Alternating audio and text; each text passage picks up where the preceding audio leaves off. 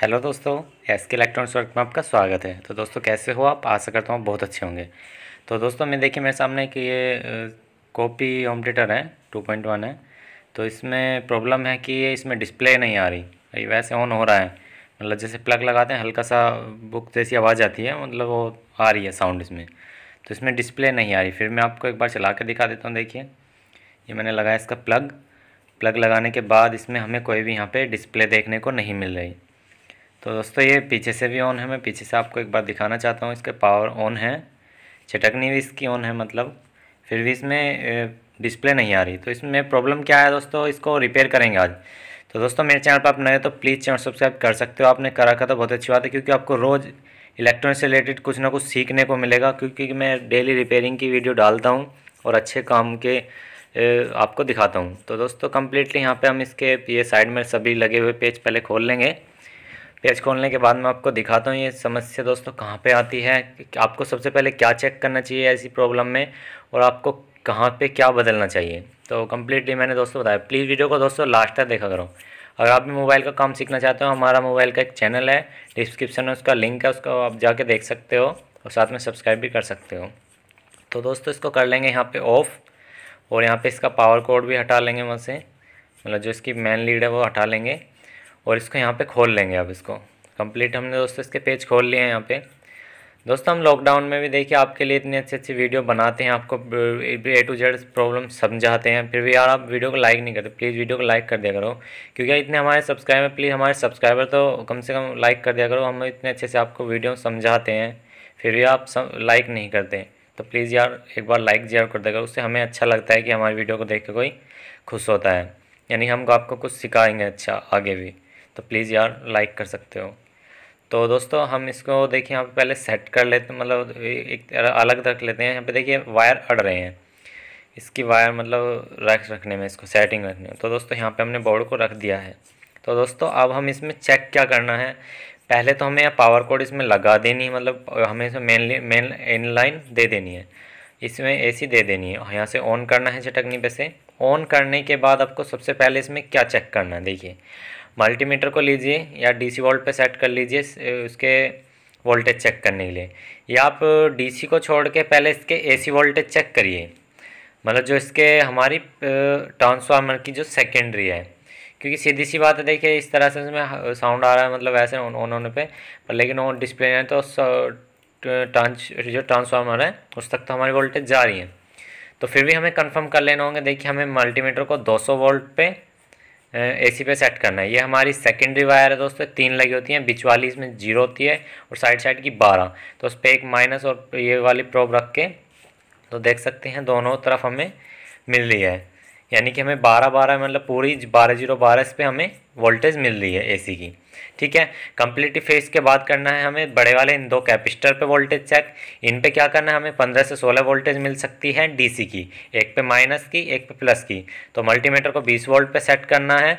और जो हमारे कैपिस्टर के यहाँ पे आप देख रहे हैं, दोनों ये वाले जो इसके एक जगह सीरीज़ जो बनना है मतलब बीच वाला जो पॉइंट है ग्राउंड उस पर रखना है मीटर का माइनस वाली प्रोब और फिर हमें एक, कोई से भी एक कैपिस्टर पे वोल्टेज चेक करें, देखिए माइनस के पंद्रह पॉइंट अट्ठानवे मिल रही है।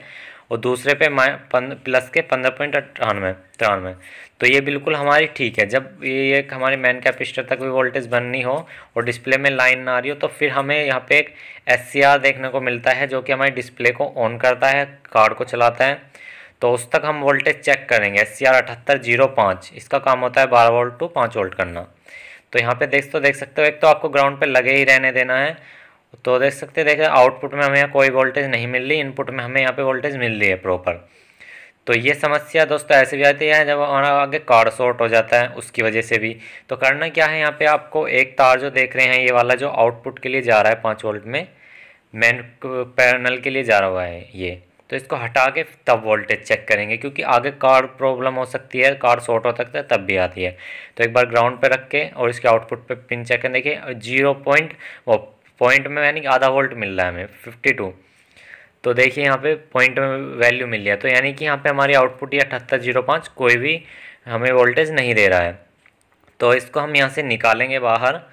फिर इसको हम, दोस्तों, करना क्या है? दोस्तों जैसे सिंपली है, अगर आपके यहाँ पे इसको अठहत्तर ज़ीरो पाँच को बारह से लेके अट्ठारह वोल्ट तक इनपुट मिल रही है और ये आउटपुट नहीं दे रहा तो आप इसको नॉर्मली चेंज ही कर दीजिए चेक करने की भी ज़रूरत नहीं है। हमने यहाँ पे इस ऑमलेटर को इसको ऑफ़ कर दिया चटकनी से और यहाँ पे हम इसकी सोल्डिंग सफ़ा कर लेंगे। दोस्तों, हमने निकाल लिया है। कम्प्लीटली आपको समझ में आ रहा होगा दोस्तों, मैं जो बताना चाह रहा हूँ आपको। सबसे पहले सप्लाई चेक करनी है, उसके बाद में कंपोनेंट चेक करने हैं। तो देखिए दोस्तों, हमारे यहाँ पे इसको इनपुट तो मिल रही थी बट ये हमारी आउटपुट नहीं दे रहा था। दोस्तों, आपका नंबर मैं दिखा सकता हूँ इसका। देखिए ज़रा, यहाँ पे एल अठहत्तर ज़ीरो पाँच। ये इसका मॉडल नंबर ये मतलब इसका सीरियल नंबर जो भी है। ठीक है, ये इसका काम क्या होता है दोस्तों? ये हमारा पाँच, बारह वोल्ट टू पाँच वोल्ट में कन्वर्ट करता है। ये डेढ़ एम्पियर तक का लोड ले लेता है। इस पर छोटी सी एक हीट सिंक लगी हुई है। इसको हम यहाँ से खोल लेंगे। हमारे पास अठहत्तर ज़ीरो पाँच बहुत सारे पुराने भी पड़े हुए हैं, नए भी हैं। तो फ़िलहाल मैं यहाँ पे कोई भी एक पुराना लगाऊँगा, मैं ओरिजिनल वाला लगाऊँगा इसमें। ओरिजिनल मैं आपको ज़रा एक बार दिखा दूँ, यहाँ पे दो से तीन पड़े हुए हैं मेरे पास। तो एक दो मैं उठा के दिखा दूँ। दोस्तों देखिए ये तो ये तो है हमारा लोकल दोस्तों ये वाला अठहत्तर ज़ीरो पाँच और जो मैं ओरिजिनल आपको दिखाना चाहता हूँ, ये है। तो अठहत्तर ज़ीरो पाँच मेरे पास ये पुराना पड़ा हुआ है तो मैं इसी को लगा दूँगा, कोई प्रॉब्लम नहीं है। तो ये मेरा ओके है। दोस्तों, ये कम्प्लीटली वही है, इसका वर्क जो मैंने बताया डिस्प्ले को ऑन करता है, ये मतलब हमारे कार्ड को लिए चल, लगाया जाता है। तो इसको दोस्तों हम यहाँ पे इसकी सोल्डिंग सफ़ा करके इसको सही डायरेक्शन में लगाएँगे।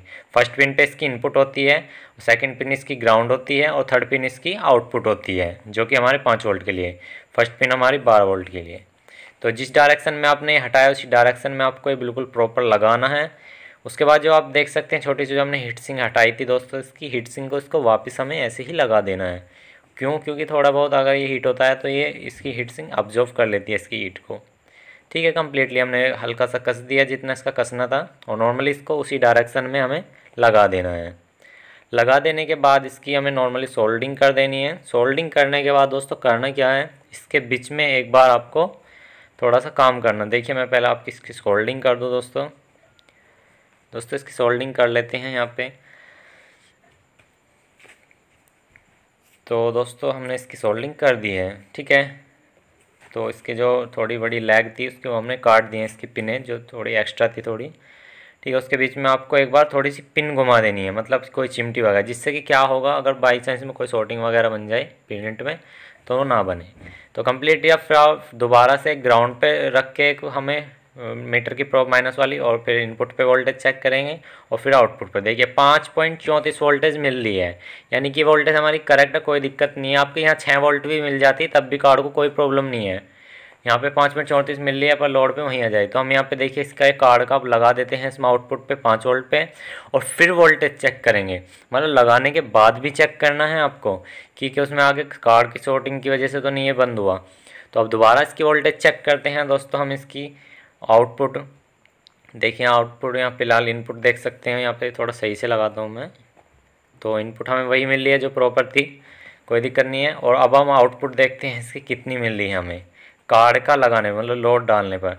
तो देख सकते हैं दोस्तों फाइव पॉइंट थर्टी वन यानी कि हमें पूरी वोल्टेज मिल रही है। ये कार्ड के लिए बिल्कुल सही वोल्टेज है, कोई दिक्कत नहीं है। यहाँ पे बहुत सी कमेंट आएँगे, सर इसमें पाँच वोल्ट मिलनी चाहिए थी। तो ऐसा कुछ नहीं है। तो देखिए, हमारा कार्ड पैनल दोस्तों, फ़िलहाल यहाँ पे ऑन हो चुका है। ये पहले ऑन नहीं हो रहा था। तो कम्प्लीटली गाइस इसमें यही प्रॉब्लम थी। इसका ये अठहत्तर ज़ीरो पाँच जो है ना एस ये ख़राब हो चुका था। अब ये कारण क्या है? ये कारण हो सकता है लाइट फ्लक्चुएट का या फिर लोकल है इस वजह से भी। तो ये प्रॉब्लम आपके देखने को फेस करने को मिल सकती है कभी ना कभी। तो इस प्रॉब्लम को आप इस तरह से दोस्तों रिपेयर कर सकते हो। कम्प्लीटली दोस्तों ऑन हो चुका है। मैं आपको एक बार फ्रंट पैनल पे दोबारा दिखा देता हूँ। देखिए कार्ड भी ऑन हो चुका है और इसमें पैनल में भी अच्छे से लाइट आ चुकी है। तो इस तरह से आप भी दोस्तों रिपेयर कर सकते हो। सिर्फ़ इसमें यही छोटी सी प्रॉब्लम थी। जब ऐसी प्रॉब्लम आए तो मैंने कंप्लीट आपको बता दिया है। इसी तरह से आप भी कोई भी प्रॉब्लम रिपेयर कर सकते हो। सिर्फ़ हमारे छोटा सा कंपोनेंट चेंज करने पे सारा काम ओके हो गया, यानी कंप्यूटर ओके हो गया।